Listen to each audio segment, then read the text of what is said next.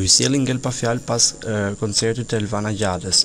Një fanse e tij, me sa duket ka bërë një nga shprehjet më të veçanta të tij tatuazh në trupin e saj.